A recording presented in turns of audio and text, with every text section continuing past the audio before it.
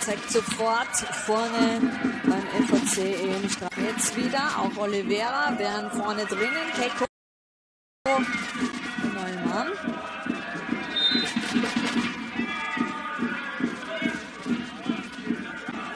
Jetzt der hinten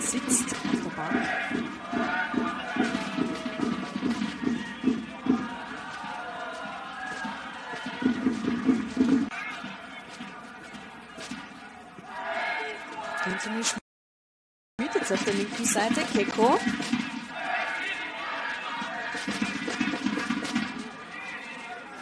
Reins. Erster Ball bei den Gegnern. Jetzt Keko, der nochmal reinbringt. Kopfball! Hindel mit der starken Parade.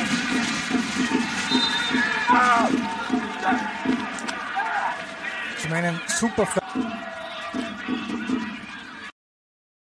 Keiko. Keiko, ist weg. Gewinn. Glasmann. Felix Keiko. Ach, der hat richtig viel frischen Wind bisher reingebracht. Den bringt er sogar noch rein zur Mitte, aber geklärt von Florian Rüssing.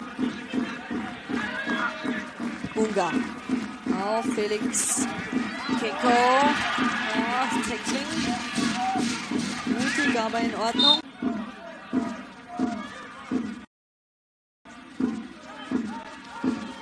Vier Minuten noch. Felix Keko. Selber Pass. Schmidt nochmal auf Felber. Und dann ist es Puskovic, aber Felix Keko, dann doch nochmal Puskovic und doch nochmal Felix Keko.